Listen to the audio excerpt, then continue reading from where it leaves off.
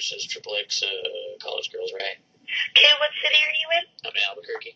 Okay, it's 150 cash for one hour. Will that be a problem?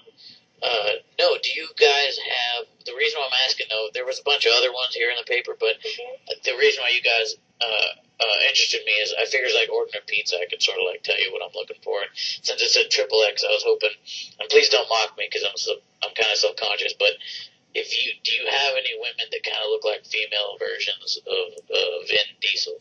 Because I thought you guys would have a better chance than anyone because the triple X name, you know what I mean? You mean kind of like tall and built? Yeah, and bald. I'm looking for some Tall, bald built, action. bald? Yeah, like bald action. Okay, I definitely don't have any bald-headed women. Uh, could you just shave one of them for me? No.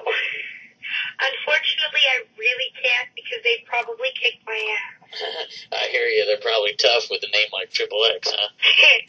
well, um, right now I have Kiara, and Kiara is 5'8", 140, 36 double D, 24, 36, and she has long brown hair and hazel eyes. Oh, I mean that that's probably a lot of people's kind of thing, but I'm looking for a little bit more of a a little more machismo in my ladies. Uh, I'm sorry, That's sweetie, okay. I don't have anything like that. I appreciate it. I appreciate your your kindness. I don't I don't I don't. You are a very kind lady.